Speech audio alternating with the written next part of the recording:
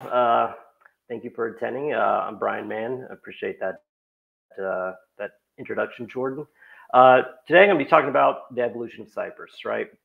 The the features that we have on our upcoming roadmap, uh, as well as the broader uh, vision.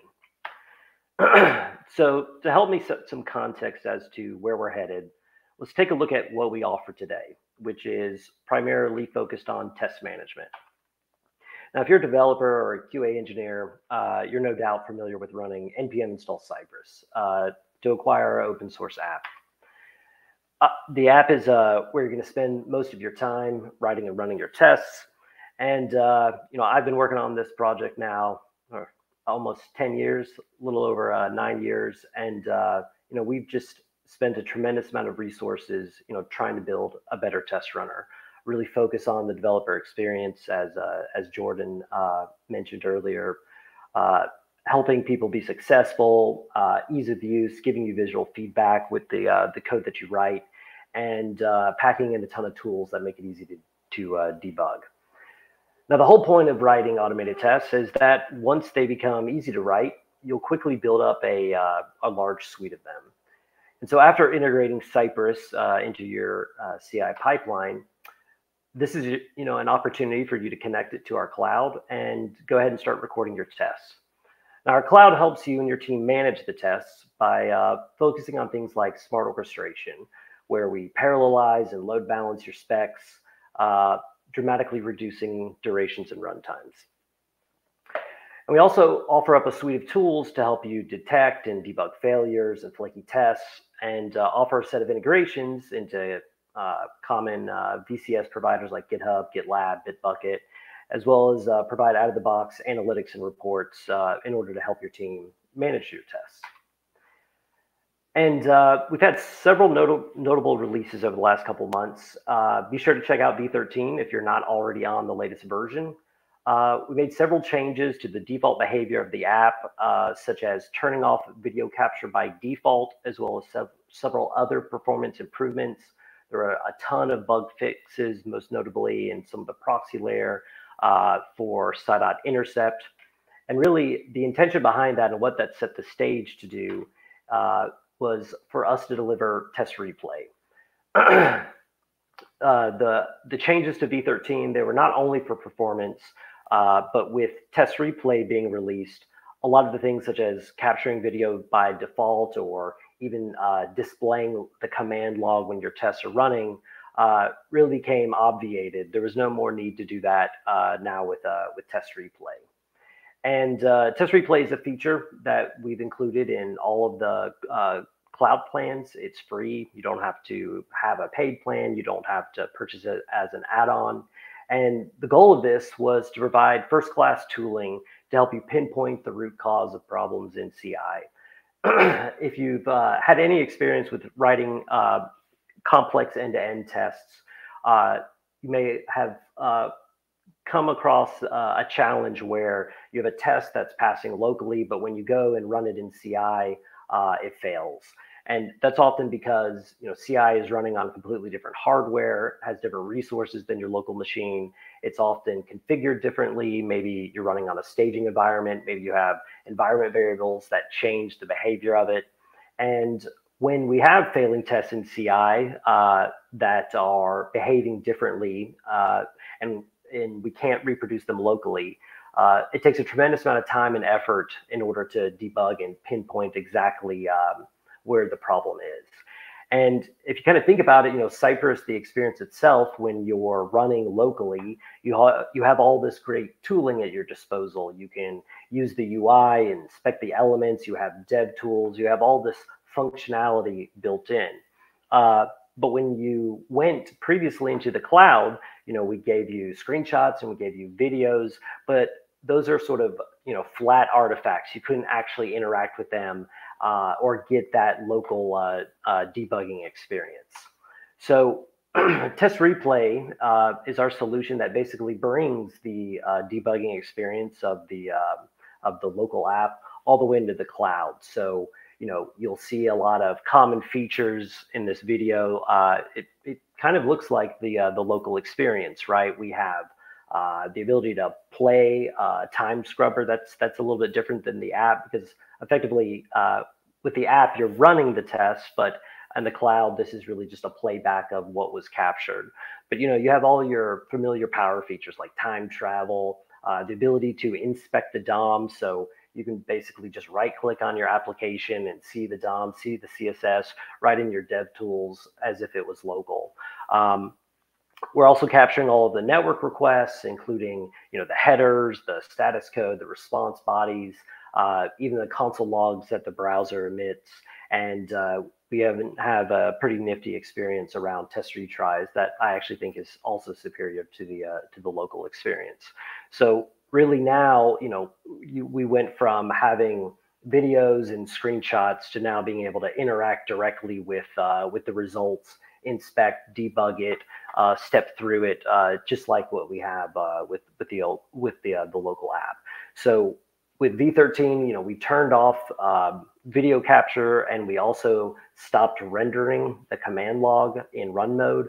Both of these things were performance drains and as I mentioned, they've effectively been obviated by test replay.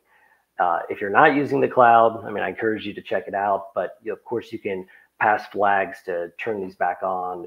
You can set, you know, video recording in your in your config. It's just no longer on by default. So besides uh, Test Replay, which was you know one of our uh, more significant releases of the year uh, in the last couple months, uh, I want to take a look at a few other uh, things that we've got uh, coming up that we're currently working on related to test management. So the the three features I want to talk about is burn-in, some updates to test retries, as well as a Puppeteer plugin. Now, burn-in is a feature that we've been working on for a while. And you can think of it as going hand in hand with, with test retries. If you think about the way that test retries works today is that when a test passes, it just moves on. But if the test fails, then and you have retries enabled, it's automatically going to rerun. Now, if you have a test that retries multiple times and each time it fails, that's actually not a flaky test because you're getting a consistent result. But if you have a test that can both pass and fail, and yet you haven't changed anything about the environment, you haven't pushed new code or changed an environment variable, then really that means that it's able to reach two different outcomes. And that's what we consider to be flaky. And this works really well uh, if you have test retries enabled. Uh, but the problem is, is that if you think about what is the definition of a flaky test, well, it is a test that can both pass and fail. If it just fails every single time, it's not actually flaky at all. In fact, running it multiple times and getting you know three failures in a row actually doesn't indicate uh, there's flake. It actually tells you the opposite. There's not flake, and that likely unless you go in and make a code change, you can run it you know an infinite amount of times and it's going to fail every single time.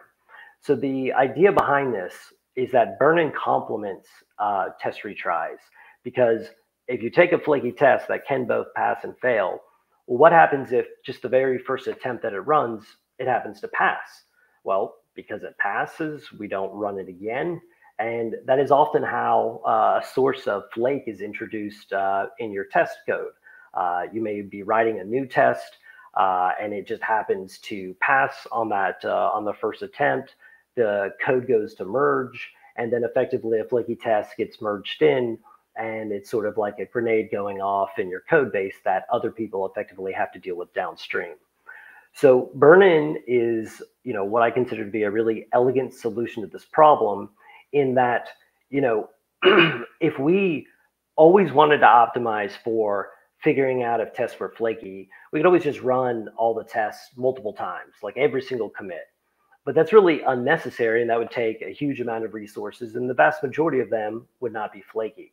So burn-in is our solution wherein we effectively look at the history of the test how it's been performing. And we also look at other signals like if the test was just created and it has no history, or if it was just modified, which effectively resets the history, then rather than wait for it to exhibit uh, failure, we will effectively burn it in, which makes it run multiple times. So that means if it passes, you can almost think of this as burn in is like the equivalent of test retries, except it's for passes. And that way, tests are conditionally and effectively burned in Uh, but once they are burned in, then they'll only run once.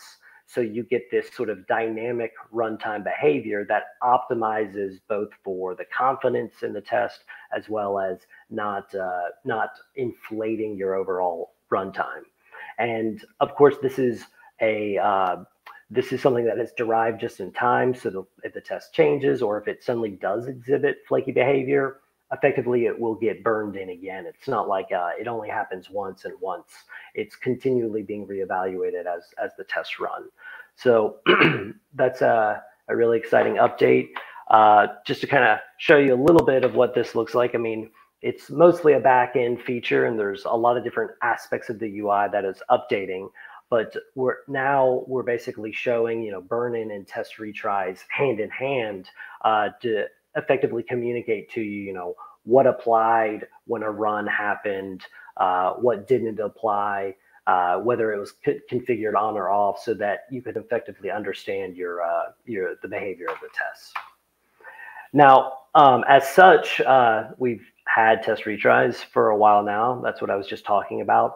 But in making burn-in work, uh, we realized that we really need to improve um, several different aspects of the way that test retries uh, behave. Right now, I would say it's fairly naive in the sense that you don't have any sort of tolerances or controls, meaning like a test, uh, you could set a test to retry, you know, 100 times and it failed 99 times in a row. And on the 100th time, it passes. And we would still consider the test at that point uh, passed. That means like CI is not going to exit uh, with with an exit code of one. Things are gonna code is going to be able to merge, and really we're changing or upgrading the way that test retries behaves and giving you a lot more optionality and controls for determining you know your risk tolerance level. You can think of it as like a test running multiple times is there to figure out its flakiness, but how we ultimately interpret whether that test passed or failed is really based on your risk tolerances as an organization. It's possible that uh, you know if you uh, you had a test um, run uh, 99 times and fail, and then run w- once and and pass, that that's good enough for you, and you don't have a really high risk tolerance. But you know many of our organizations uh, have completely different ones and sometimes it's even different on different branches you may want to you know in your main branch or going out to production have very low risk tolerances whereas in feature branches you have something higher so we're giving you the ability to basically set these thresholds and effectively control the strategy of what happens when you get into a situation where a test both passes and fail. It doesn't really matter how many times it it runs or it doesn't really even matter what the final outcome of a test. That's that's really just between you and ci and your processes. We just need the test to run multiple times and do run it multiple times for figuring out you know it's uh, how flaky it is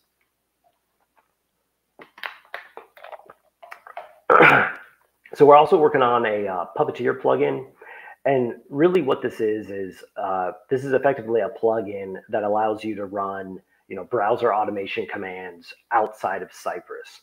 Uh, there, you know, I if you're a longtime user of Cypress, you probably know that our automation architecture, at least a lot of it, behaves very differently than some of the other uh, incumbents or competitors in the space.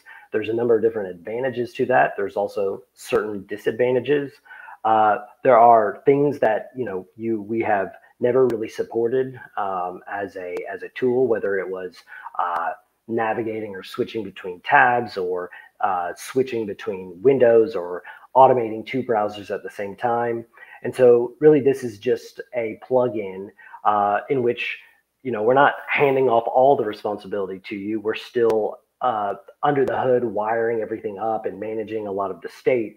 But this is really a simple uh, and elegant solution to sort of escape out of uh, Cypress to eh, to use Cypress to collaborate with you know a third party driver so that you know you can test extension behavior. You can effectively you know test a few scenarios and then come back into Cypress and we'll automatically do things like you know manage the window focus. We'll make sure that tabs and windows are cleaned up. We'll manage the connection to the browser so that the actual implementation is very like rudimentary and simple, and we do all of the life cycle stuff all around it. So that's another uh, another uh, plugin that we're working on. so with that said, I mean, what uh, we have been focused, I would say, uh, for years now, all around the the test management space. Um, but you know, I've thought for a while now that there actually is a bigger and more valuable destination uh, that we're headed towards, that we're evolving uh, to be able to do. And uh, I wanted to uh, spend a few minutes talking about that and representing that uh, by showing sort of how our vision uh, itself has evolved to to expand what I think you know we're classically or typically looked at um, being able to handle. And so, you know, this year marks the the first year for us in which we put, you know, a lot of resources around different initiatives uh, that started to explore this. In fact, Test Replay is one of the initiatives that came out of that. And um, you know, throughout the beginning of uh, the year, we've been, you know, uh, uh, primarily, or really since the beginning of time, we've been primarily focused on test management, right? Which is writing tests, uh, it is managing tests, right? Uh, ultimately, these are what I believe to be just stepping stones on our way to something much bigger. And what we'd like to be able to do is still, you know, be near and dear to everything that is test management, but really leverage and utilize the tests uh, as a way of driving insights, uh, broader insights in order to improve your application's quality. And so, you know, our evolved vision uh, which is the end goal that we have in mind, is really to provide product teams with clear visibility into the health and quality of their applications uh, in order to continuously deliver innovation faster. And our mission, which is uh, what we're doing to achieve it, uh, well, it's really always been to delight developers with a superior open source test authoring experience, enhanced by clear, objective, and quantifiable quality metrics that help developers and team members understand the impact of every code change. Now, uh, the most recent release of Test Replay has really put us in a phenomenal position to capitalize on uh, this unique opportunity. Uh, and it is giving us the capabilities to evolve beyond just test management. And to kind of paint this picture to help you understand what we mean, uh, let's look at some of the benefits uh, that you know you as a user, your company would have by um, expanding the value of the test and being able to measure app quality. Uh, writing uh, automated tests, and let me kind of just start with this. Writing automated tests is and will always be an essential part of the software development lifecycle. You know, end-to-end and component tests specifically are a form of functional testing. Therefore, they give you confidence that your application is at least functioning and working uh, as intended. Uh, but functional testing is one of many important dimensions of your application's quality. You know, even if something is functioning uh, properly or as intended, as coded, there's still no guarantee that it looks correct or that it's uh, or that you've tested everything in the UI thoroughly or that it's accessible, it's fast or uh, secure. And uh, you know our goals with you know helping you improve app quality and objectively measuring it is really to take uh, those same functional tests, uh, but use them in order to answer uh, many more important questions about these additional dimensions. And uh, I think, as we all know, uh, writing functional tests is also a non trivial investment. Uh, developer time is expensive.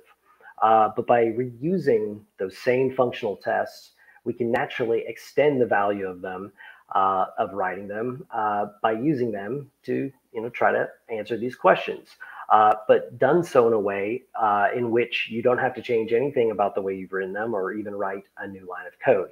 In other words, we want to be able to do this completely and totally automatically. Uh, if this is something that we can do, and we're uh, working very hard in order to deliver that, um, you know, I believe this will significantly improve uh, the value of those tests and the ROI of engineering time invested in them. And that should in turn uh, increase your confidence in being able to make code changes um, and uh, have confidence in them uh, before code merges to production. And that should enable you and your team to merge, release, and deploy much faster. Um, so let's take a look at a few of the ways in which uh, you know I believe that we're able to uh, make this possible. So as I briefly mentioned before, all of this is built to be generated automatically. So we're building these new capabilities uh, such that you don't have to write any new, any code whatsoever. Uh, all of this can be automatically generated. Uh, because there's no setup, there's no planning or configuration necessary. Um, we also believe that this will further lower the bar for a teams attempting to gain insights into uh, some of those dimensions of application quality, uh, you know, pre-production. Um, because of our unique position as an integrated service collaborating directly with our app's uh, test runner, you know, we're able to leverage all of the data that we're already capturing as part of test replay and basically interslice this together with the test code um, to provide us the context for understanding, you know, the intention of, of how your application is working.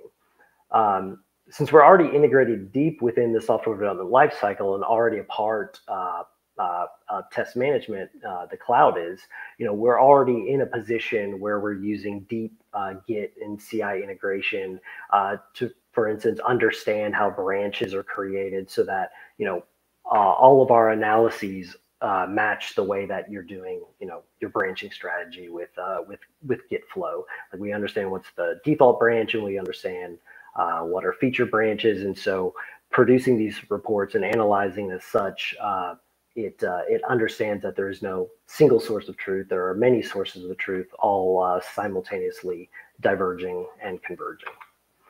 Um, and this is really what puts us in a position to be able to track uh, and score these changes uh, uh, to these various dimensions over time uh, in a way that's relevant to you and your team's you know code merging strategies.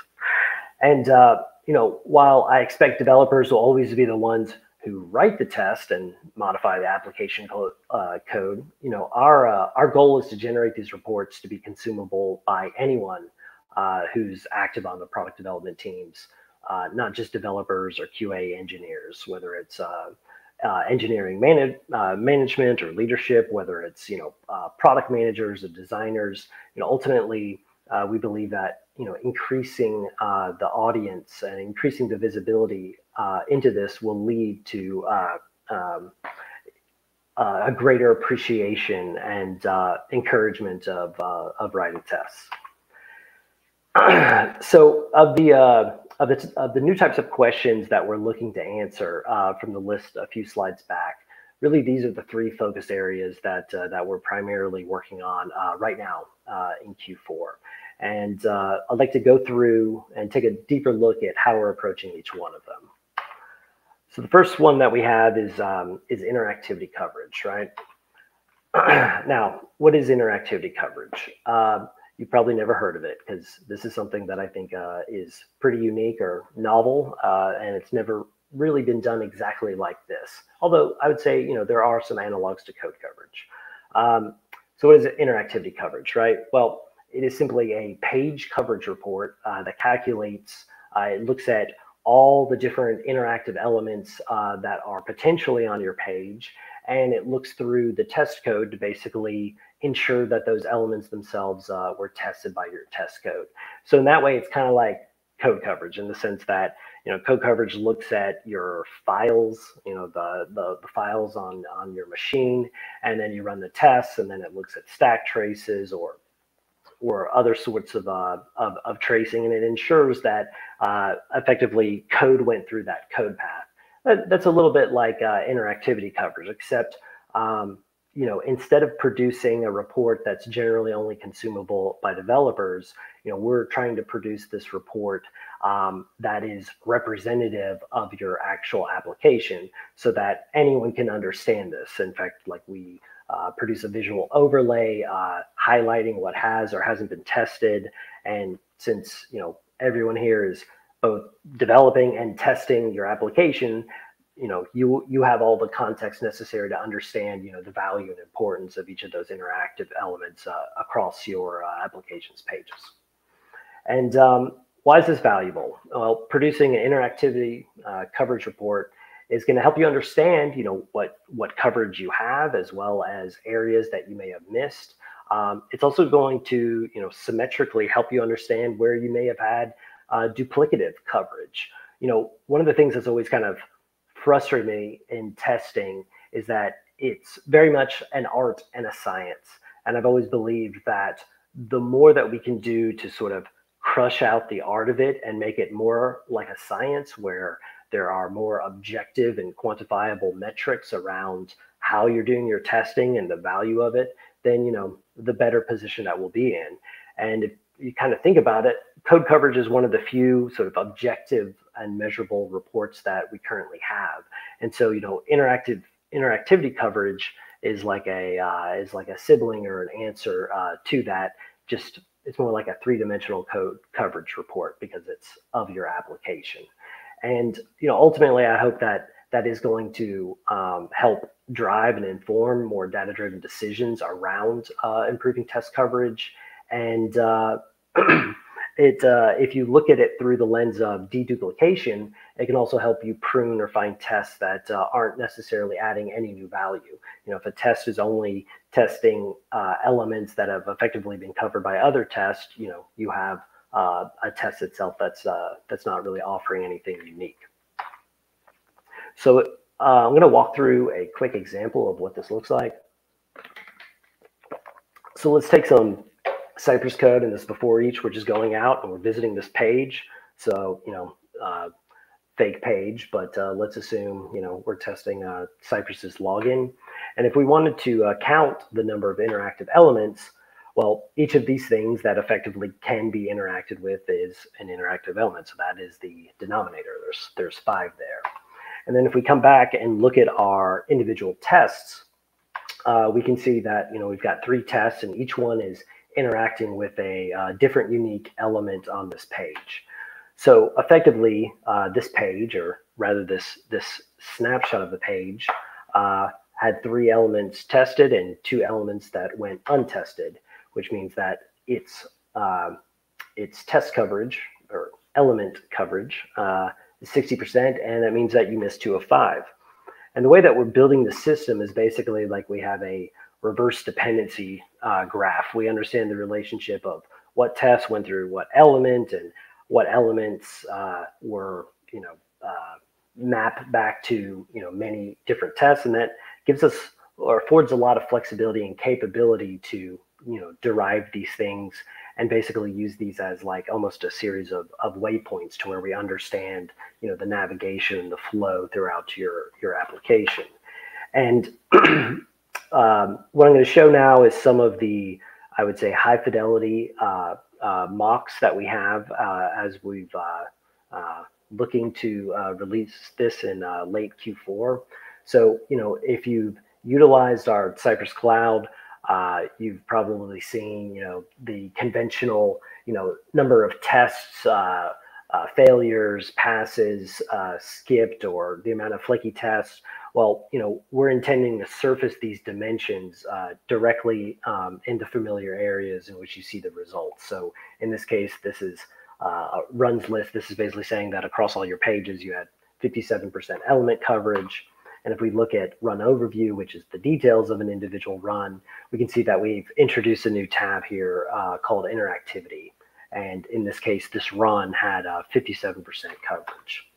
And if we click into that tab and, and uh, take a look at it, um, we can see the individual pages as well as uh, all of the snapshots that were found per page.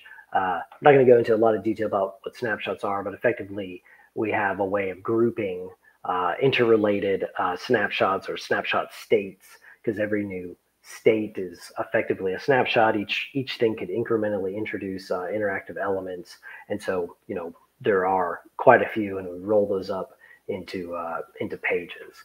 And what we're doing here is we're effectively looking across all the snapshots of a page and figuring out all the unique uh, elements that were meant to be tested, and we're giving you you know a coverage score all the way down to each individual page. So if we were to you know inspect this sign-in page um, then you'll see some elements uh, of, of uh, test replay here. But effectively, we're producing, you know, these new reports that are interactive that give you the individual feedback uh, to help you understand what was covered by what. Uh, so uh, in this case, uh, we're uh, focused on this uh, snapshot of the sign-in page. Sign-in page has 40% coverage today because two elements were were tested, three were not. Uh, we're giving you the visual representation of it, so you can see like that's the uh, remember me uh, input, and we're highlighting it to indicate you know that it was missed.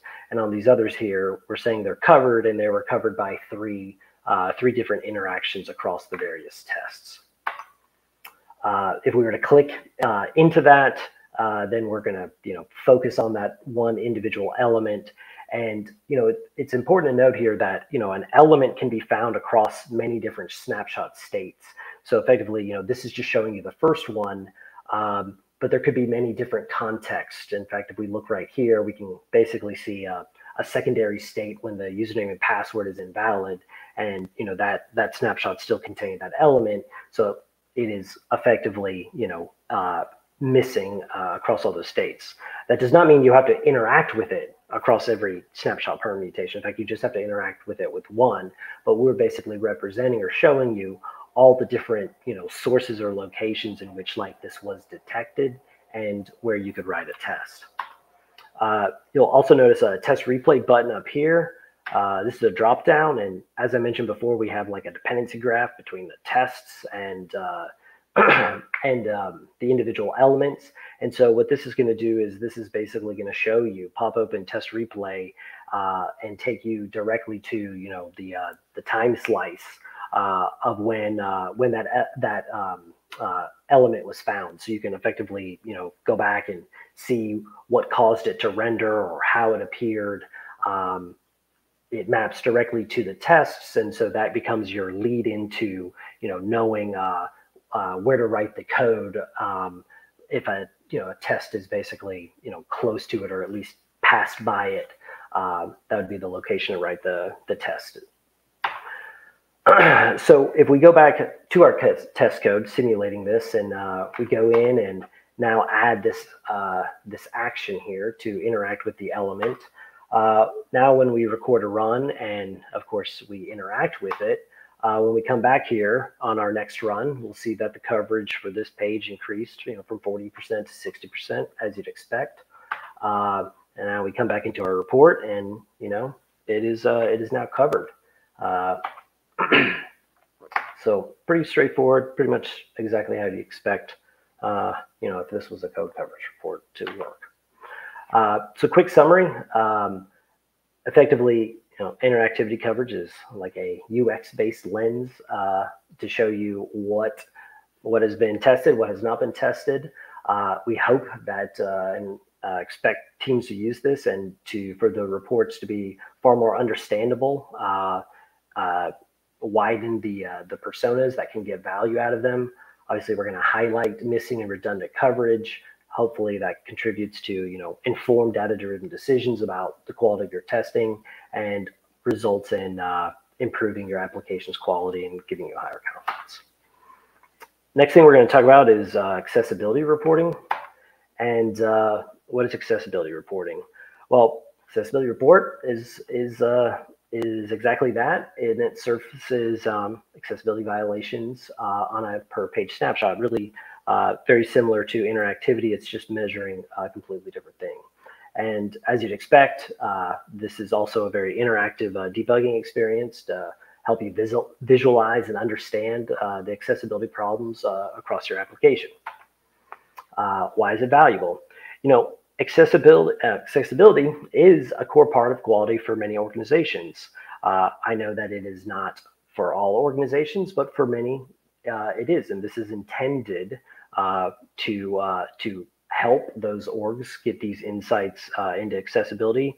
And also, what I mentioned earlier, uh, we believe that doing this in an automated way as as a side effect of your test running will also lower the bar uh, and the hurdle for uh, organizations to get access to this, so that the ones um, who are you know just uh, almost ready to to make the leap or start factoring this in. It's no longer you know a mile high hurdle uh, to uh, to start tracking these things and uh, start focusing on this. Um, just like with interactivity coverage, you know, this is all about providing objective uh, metrics uh, that help you understand how accessible your website or application is in the way that automated tools, which is a portion of being a fully compliant and accessible uh, organization. But insofar as automation tools can provide uh, reliable uh, scores uh, to measure your accessibility, uh, this is going to do exactly that. And um, as I mentioned before, this doesn't require any sort of specialized knowledge. There's no configuration. There's no setup to, to generate any of these. They're automatically generated as a result of the tests. Uh, so just like with um, interactivity coverage, we've now got a new uh, report score that's on every run. And of course, uh, it gets its own tab in the, um, uh, the run overview. Looks very similar to interactivity. Uh, you can see we try to design these similarly, uh, design the experience at the same time. And so if we come back into our sign-in page, uses a lot of the same concepts that we just saw for interactivity. Uh, but now we're going to get some new information uh, and we are going to learn about the accessibility of our application, or in this case, the, uh, the sign-in page. So we can see that uh, in this case, this uh, sign-in page does in fact have two violations. One's critical and one is a serious violation.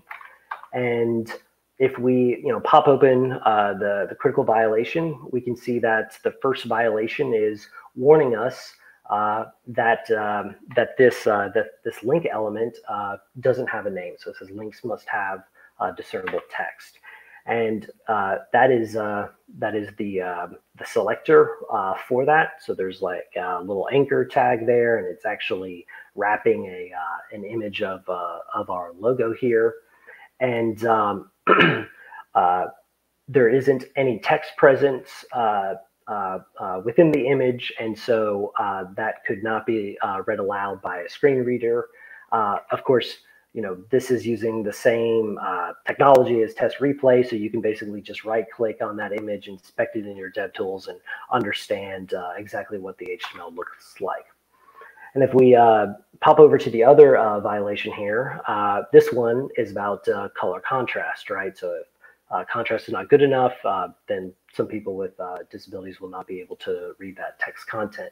And you can see, you know, our UI is basically surfacing the metadata. It's uh, indicating what are the individual colors. If we actually uh, go back real quick, you'll see like this is basically inspecting, you know, this this disabled state of the sign-in button, which uh, does in fact not have enough contrast. So by selecting this, you know, it's going to highlight the element that is uh, violating the contrast rule. And um, yep, and you can see it's from the, the gray on gray text for this button. Um, so, you know, we can go in and inspect this button to see where the colors are coming from and understand what we need to change. And, you know, below that, there's one other contrast error with uh, different colors. So let's select that. And this takes us to a different snapshot that's still on the sign in page, but it's a different state of it. It's after we've submitted the username and password. And, uh, you know, now we have a, a different uh, contrast uh, violation. And again, you know, Cypress highlighting the matching element to help you debug. Now, all these scores, as well as uh, the list of violations, is, as I mentioned, being generated under the hood.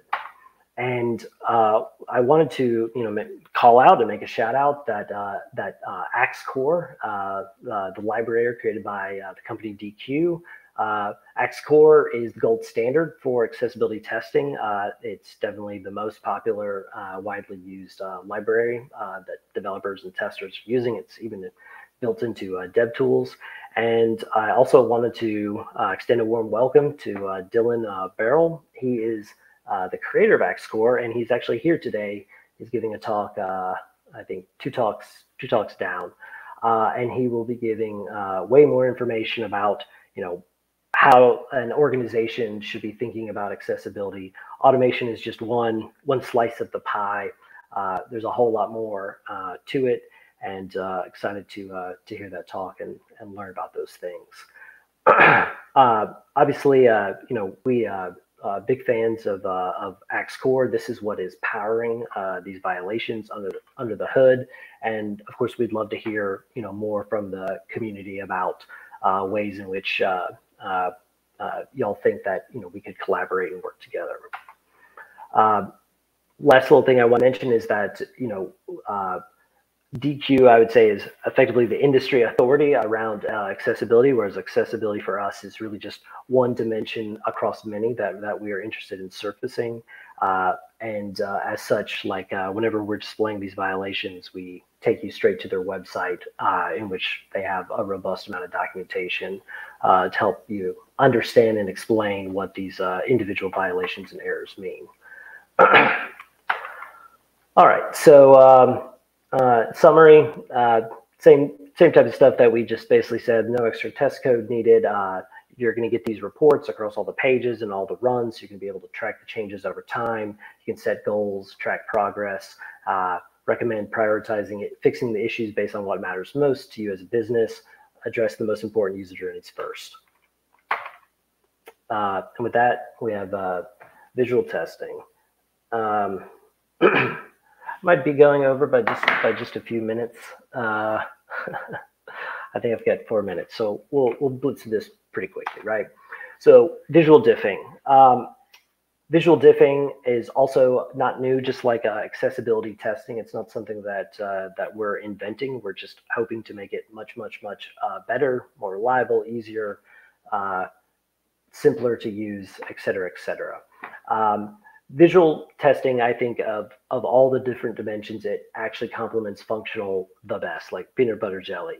Something could be completely functionally working, but look, you know, totally screwed up and it behaves functionally just fine. It's an incredibly important part of testing, and it's got this unique aspect to it where uh, whereas a functional test, the test should effectively always pass because it's describing behavior with a visual uh, test, it's actually different. Like, in fact, change is expected. In fact, I would even say that that is the norm. And so, visual testing, the actual, you know, diffing of, of pixels or different forms of, of, of AI, I would actually say is not the hard part. That is uh, fairly routine.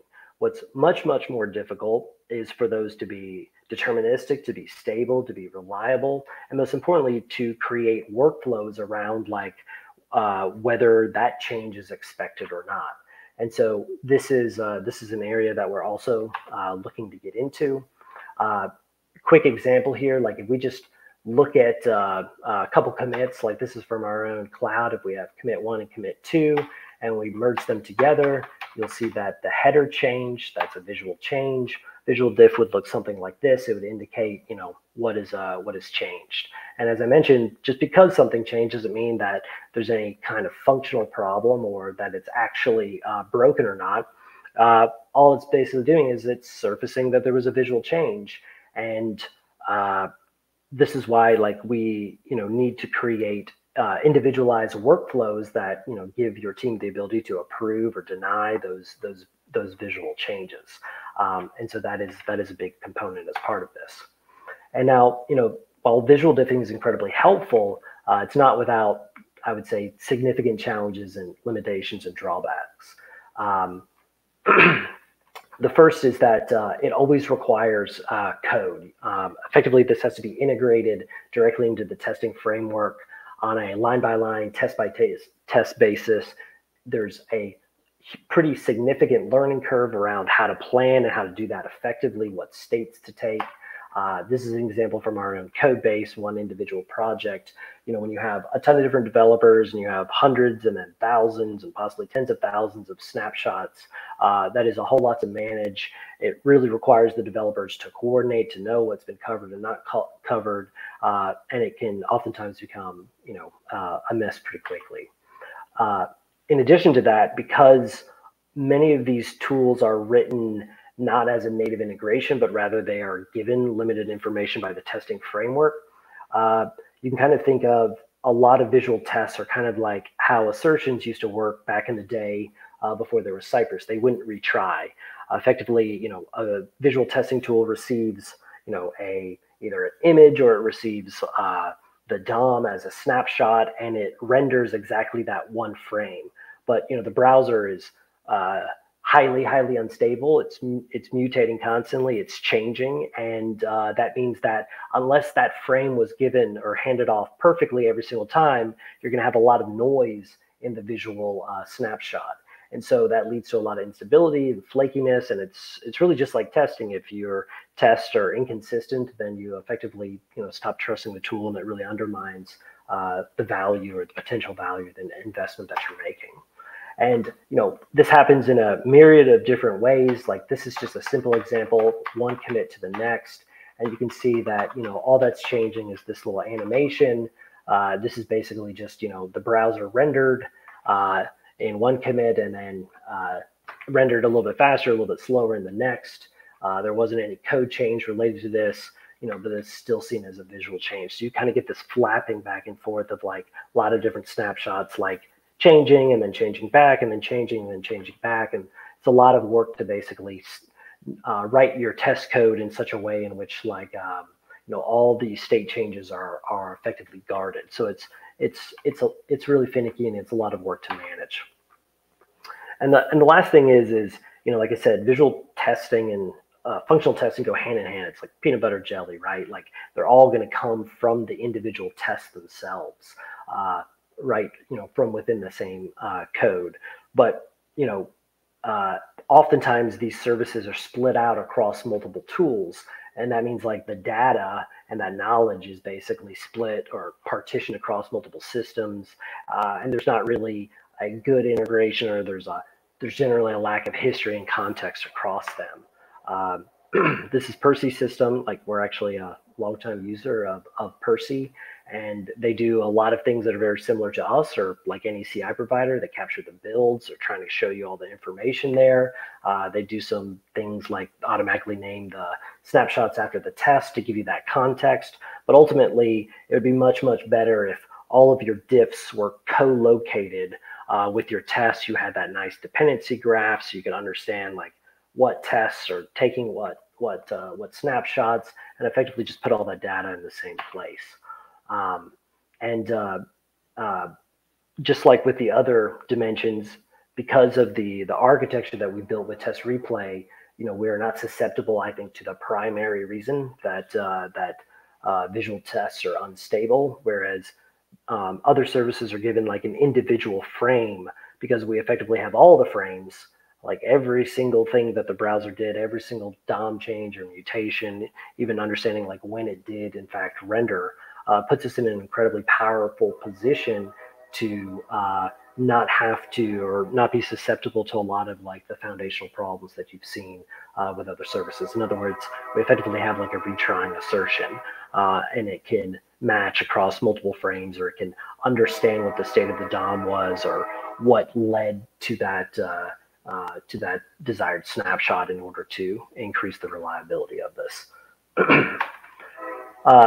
quick example and almost done. A couple more slides. Imagine if I had this test code, which is like testing a Heroes app. Effectively, like what we would do behind the scenes is we would automatically produce these screenshots, uh, just like with the other services. There's no code for you to write. Um, and so if we go through the same scenarios as an admin, it would have produced all of those. And that also basically like pushes the management of the screenshots, like rather than for you to have to like plan and prepare for all these things up front, you know, our system will just detect them and then you can subsequently, you know, decide to manage them, whether it's replacing dynamic or uh, replacing dynamic content with static content, like instead of having to code for that or not knowing what kind of feedback you're going to get when you make the test code with this you're doing sort of all the post reconciliation or post management once these uh, artifacts already exist. So it's it's very WYSIWYG. You know, what you see is, is what you get. Um, so last little bit here. So kind of putting it all together, the, the taking these three dimensions, you know, uh, imagine, you know, you have the first run in which like we detect this snapshot is new on the login page. Um, we can tell you that the page is new. Uh, we go ahead and score it, give it an accessibility score and interactivity uh, coverage. And of course, there weren't any visual changes. There was nothing before that, which means that zero of two elements were, were tested. Let's just say all you did was visit, you didn't do anything else. And then in the next run, uh, you update your test code uh, and uh, you test those two elements. And so now it jumps up to 100%. Uh, but let's say we also made some application changes, and so our accessibility uh, score uh, went up on this individual page, and we also knew that there were no visual changes. Then on the third run, we didn't change uh, our code or our test code. We didn't change, you know, anything that would influence the accessibility score, although this probably would have. But we just changed the the color of the sign-in button. This is an example where we would detect that we would understand, you know, when the snapshot was introduced, how it's evolved over time, surface that to you, provide a workflow around that. Um, probably uh, didn't uh, say one of the most important things that uh, visual visual diffing is of the three services the longest and hardest. We are, although we're working on that in Q4, we don't plan to have that come out in Q4, although that's slated for Q1. But we are uh, on track to have accessibility and interactivity coverage uh, released in uh, Q4 uh, this quarter, this year. Thank you. Awesome.